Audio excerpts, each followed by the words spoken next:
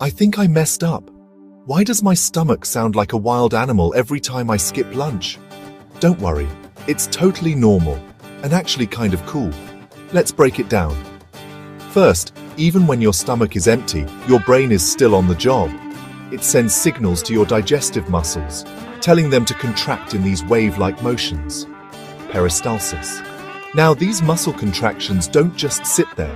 They move leftover food digestive juices, even gas around in your gut.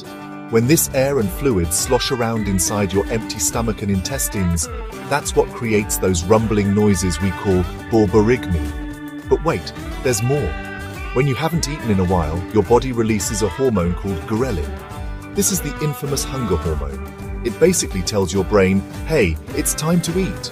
But it also ramps up those stomach contractions, making the growling even louder. Ever notice how your stomach only really gets noisy when you're hungry? That's because when your stomach is empty, there's less food to muffle the sound. So the noise has nowhere to hide. It just echoes around and makes itself known. In short, your stomach growls because it's cleaning itself out and getting ready for your next meal. So next time your stomach starts rumbling, don't be embarrassed. Just remember, it's your body's way of saying, let's eat, stay curious, stay hungry, and maybe carry a snack or two.